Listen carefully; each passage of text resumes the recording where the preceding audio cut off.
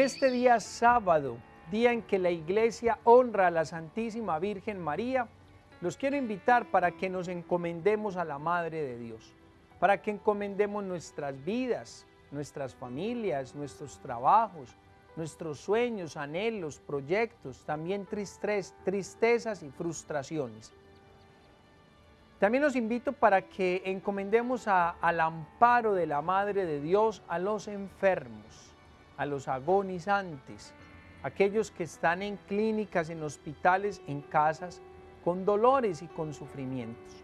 Y lo vamos a hacer por medio de un Ave María.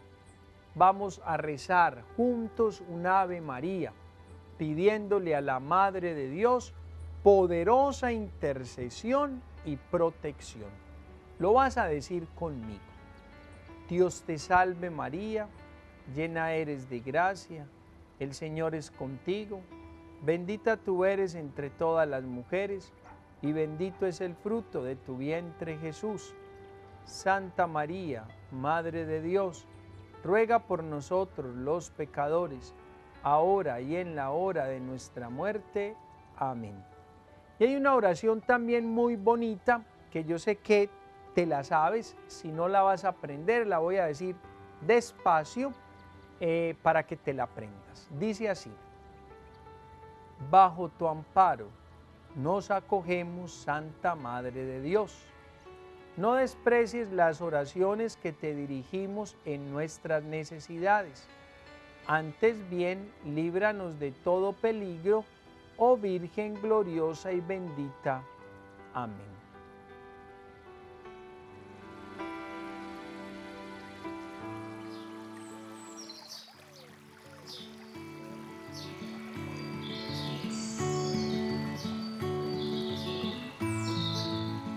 Gracias mi buen Jesús, mi Salvador, por este nuevo amanecer, empezando el día en las manos de Dios.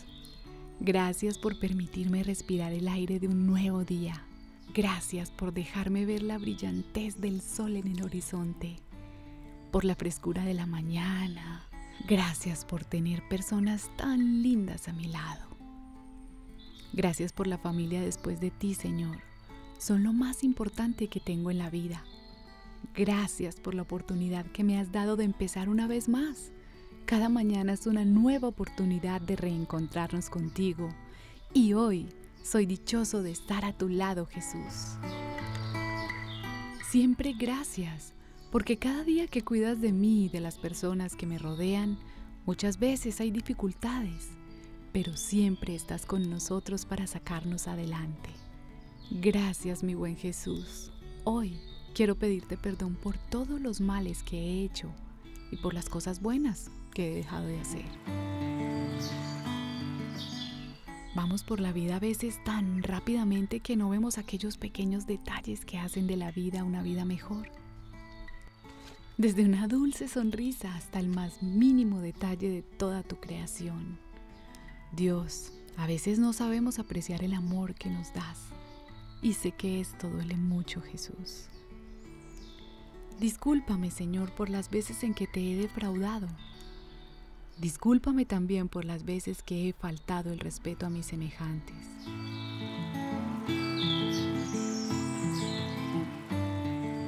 Necesito tu ayuda para poder acercarme a ellos y pedirles perdón. Tú sabes que me arrepiento de todo corazón. Hoy quiero iniciar una nueva vida, una vida donde tu amor ocupe mi corazón y pueda dar testigo de tu amor a cada persona que se cruce en mi camino.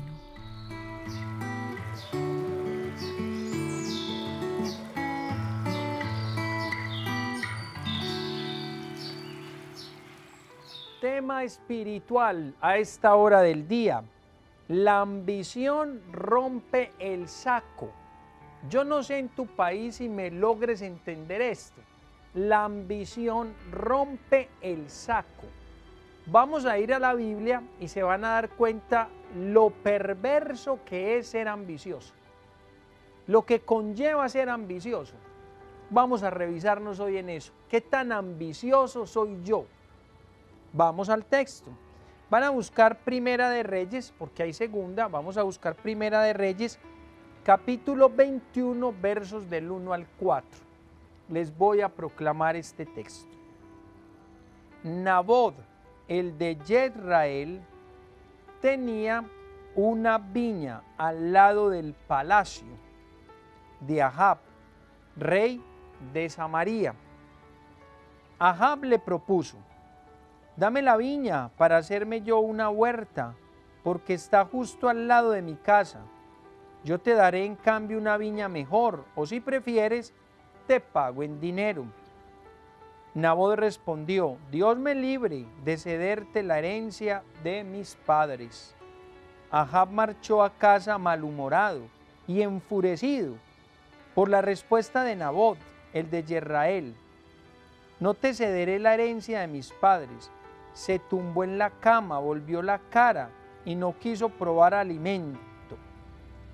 Palabra de Dios, te alabamos, Señor. Reconstrucción del texto.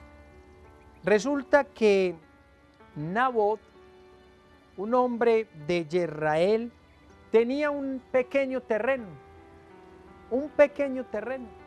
Y ese terreno lindaba con el palacio del rey Ahab, el palacio. Entonces miren las proporciones. El rey vive en un palacio y Nabot vive en un pequeño campo.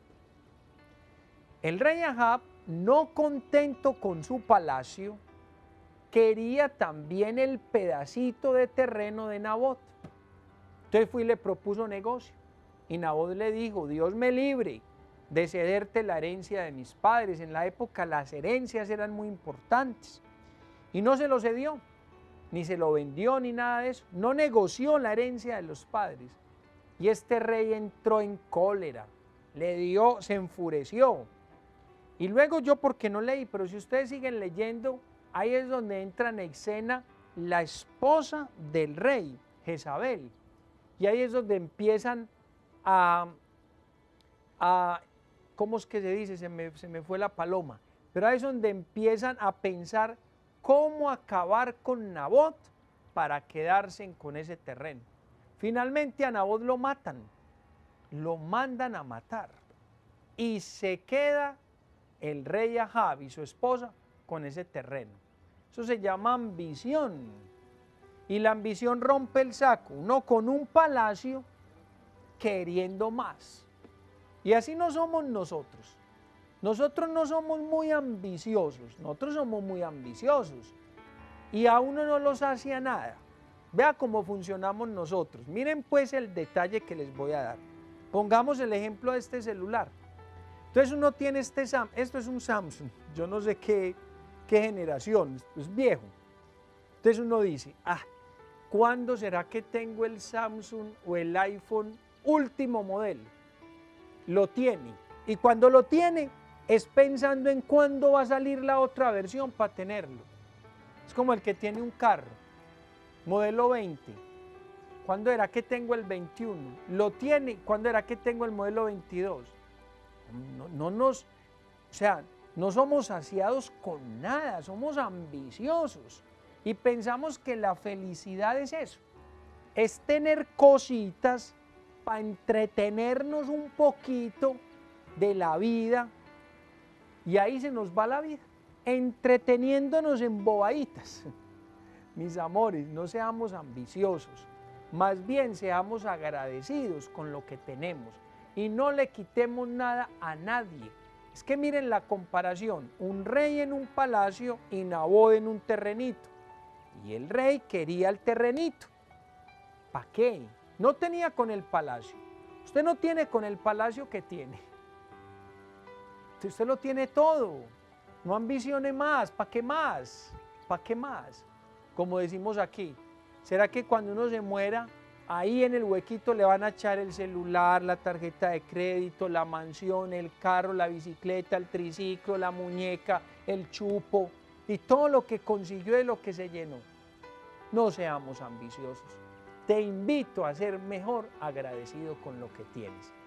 En el nombre, después de esta cantaleta, en el nombre del Padre, del Hijo y del Espíritu Santo. Amén. Feliz y santo día para todos.